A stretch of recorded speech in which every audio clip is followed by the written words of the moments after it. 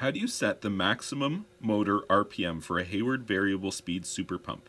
Well, that's in the configuration men menu, and let's go ahead and get in there. Hit the menu button, you see that we're locked, and you hold the arrow buttons to access the configuration menu. There we go. And now we can proceed. What we want to do, there we go, maximum allowed speed. The default setting is 3,450 RPM. That's just maximum speed for these electric motors.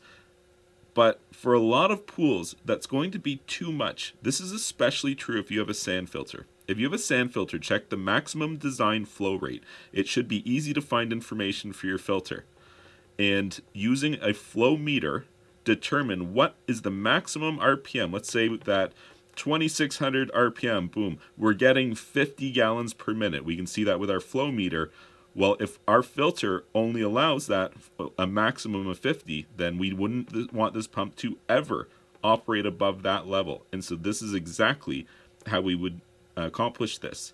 So I set that new maximum RPM, proceed all the way to the end of the menu, press menu to exit. We've made a change, so press plus to lock in that change. The pump kind of does a little reset and then saves that new information that we've added.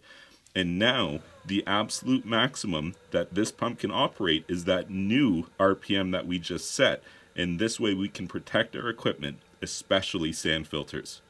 If you found this information helpful, please be sure to like this video and subscribe to my YouTube channel. And you can check out my website, swimmingpoolsteve.com.